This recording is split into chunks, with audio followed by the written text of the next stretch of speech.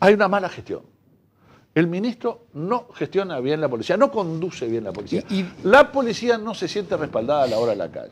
Y y- hay temas, y perdona, Sí. termino con esto, Nelson. Y hay temas que tienen que ver con el accionar de la policía. Y son leyes que nosotros hemos presentado, que respaldan el accionar de la policía en la calle. El policía no puede estar... ¿Para qué hemos invertido en armas que le ponemos a la cintura que son de adorno para las policías?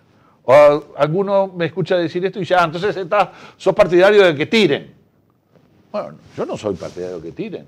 Pero si yo le doy la responsabilidad de tener un arma, no es para que el policía esté dudando el día que mañana hasta le están tirando a él. Ahora, si duda, A ¿por no qué ser- duda? Porque la ley no los protege la acción policial.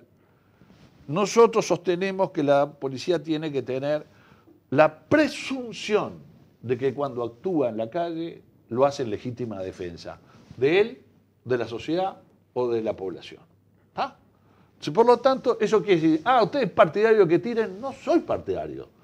Presumir que actúa en legítima defensa no quiere decir, muchachos, tiren. Ahora, el otro viene a tirar, ¿eh?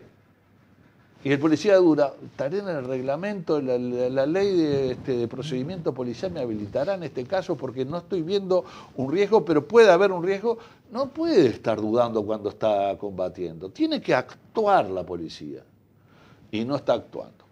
Y no está actuando porque no se siente respaldada. Además de que no está respaldada en los hechos, no se siente respaldada. Siempre termina el ministro acusando que el policía se murió porque no tenía chaleco.